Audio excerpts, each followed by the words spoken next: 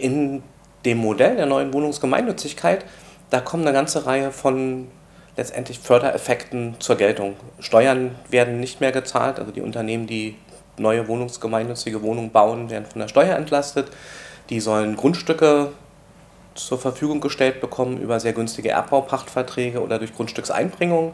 Die sollen auf Eigenkapitalverzinsung verzichten, ja, weil sie eben keine profitorientierten Unternehmen sind. Und wenn man das mit einer zinsfreien Darlehenssubventionierung verbindet, wie es in anderen Wirtschaftsbereichen auch üblich ist, dann kommt man bei denselben Bauleistungen ohne Abstriche zu machen in der Qualität oder im Standard ähm, von 10 Euro auf unter 5 Euro pro Quadratmeter Netto-Kaltmiete. Also genau die Art von Wohnung, die ganz dringend gebraucht wird in den meisten großen Städten.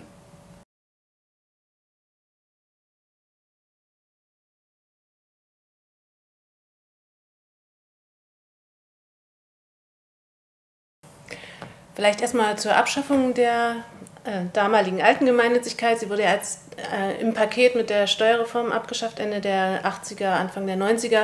Und es gibt auch viele Akteure, die sagen, wäre die Gemeinnützigkeit nicht in einem Paket abgeschafft worden, wäre das auch damals nicht durchsetzbar gewesen. Aber es gab natürlich sehr viele negative mh, hm, Kommentare auch auf, vor dem Hintergrund des Skandals um die neue Heimat damals.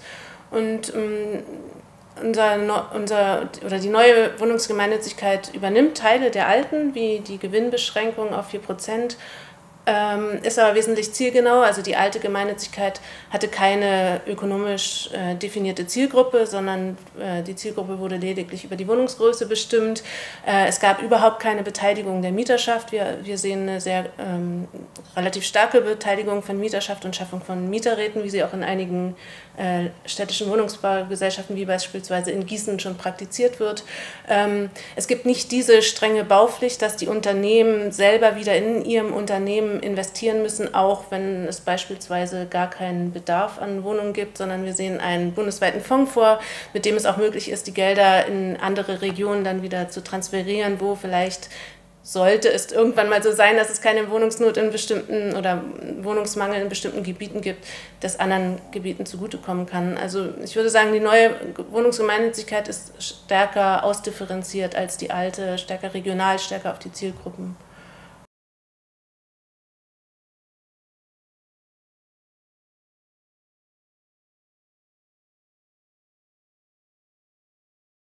Na, dass wohnungswirtschaftliche Verbände gegen die gemeinnützige Wohnungswirtschaft polemisieren, ist relativ naheliegend, denn Gemeinnützigkeit bedeutet Profitbeschränkung.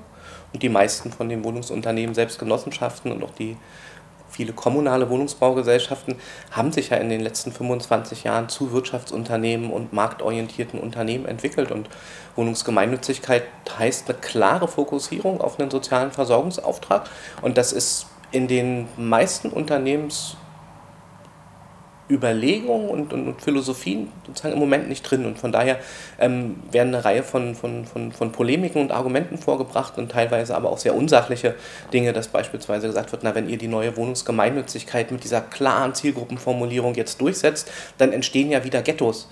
Ja, aber die Ghettos, die da entstehen, ähm, das sind Ghettos für mehr als die Hälfte der Bevölkerung. Also die Zielgruppe, die die neue Wohnungsgemeinnützigkeit ansieht, sind halt Haushalte mit durchschnittlichen, unterdurchschnittlichen Einkommen und das ist einfach die Mehrheit der Bevölkerung. Und da dann mit so polemischen Begriffen wie Ghettoisierung zu argumentieren, ist einfach unsachlich und von daher ähm, wünschen wir uns da auch eine eher sachliche Diskussion, eine Auseinandersetzung mit den tatsächlichen Modellen.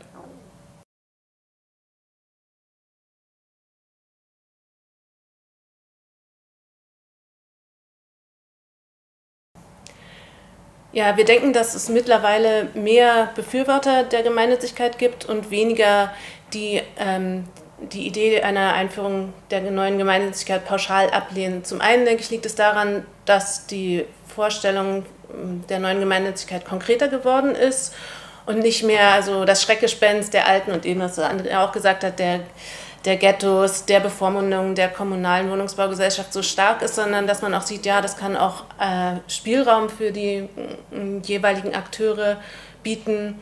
Und wir glauben aber, dass es trotzdem sehr wichtig ist, dass äh, die verschiedenen Befürworter, jetzt die Linke, die Rosa-Luxemburg-Stiftung, aber auch die, ähm, die Grünen und Teile der SPD zusammen an einem Konzept letzten Endes arbeiten und dieses voranbringen und auch die gesellschaftliche Diskussion zusammengeführt wird.